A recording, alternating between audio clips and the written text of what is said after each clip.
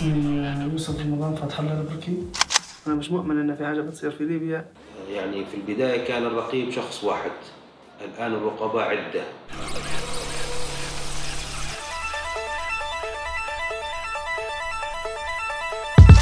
الثورة قد ينظر البعض أن أن أن هي مثلا ماهيش هي ماهيش ثورة جوع ولكن ثورة كرامة. النظام الأمريكي يطبق في ليبيا عادي أو لا؟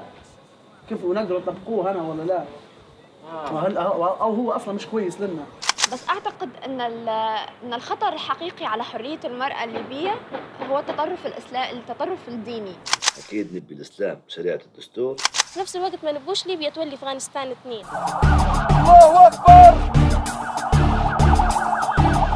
العلمانيه ما نبداش في ليبيا صدق.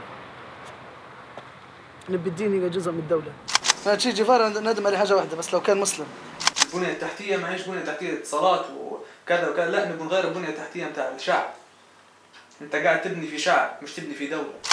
آه لكن الراب نحس فيه في ليبيا و... وفي المغرب العربي بصفة خاصة وفي العرب يعني بصفة عامة نحس فيه حرك. الشعب قاعد في المخاض يبحث عن لا ليبيا تبحث عن هكنا هنا. بارك الله فيكم صحيت. حرية الشعب اليوم انصدمت بكتلة أقوى من جدار بكتلة حامية نفسها بمجموعة لصوص قال الثوار الحق ينقال ما فيش ثوار. اللي مات منهم مات واللي فاضل منهم رد قعد مع باقي العباد مش فاهم حاجة رد زاد لقى الوسخ بالكثرة لقاهم ضايعين عويلة البلاد. نفيخ حشيش وبفرة رقدت صفرة غم وجاته لما شاف البلاد قاعدة كيف ما هي ما ثمرش فيها الجهاد.